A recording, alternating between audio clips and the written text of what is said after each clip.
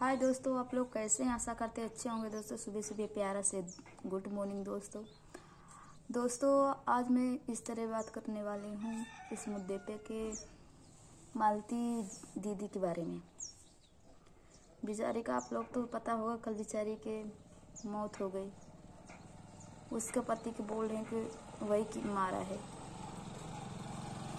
इतनी अच्छी थी, एक उसका बेटा था। आज उसके बेटे पे छोटा है, नहीं पता चलेगा, जी पता चलेगा कि मेरा बाप ऐसा था। किसी लड़की के चक्कर में मेरे माँ को मार दिया। सोचिए। छोटा बच्चा कितना प्यारा है। किसी के बच्चा प्यारा रहते हैं।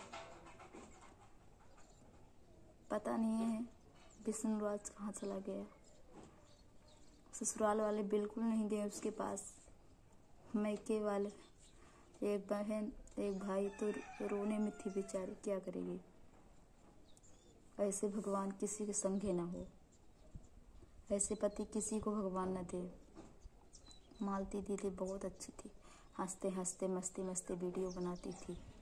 वीडियो अच्छी लगी तो लाइक से सब्सक्राइब कर लेना दोस्तों। अगले वीडियो में कल मिलूँगी।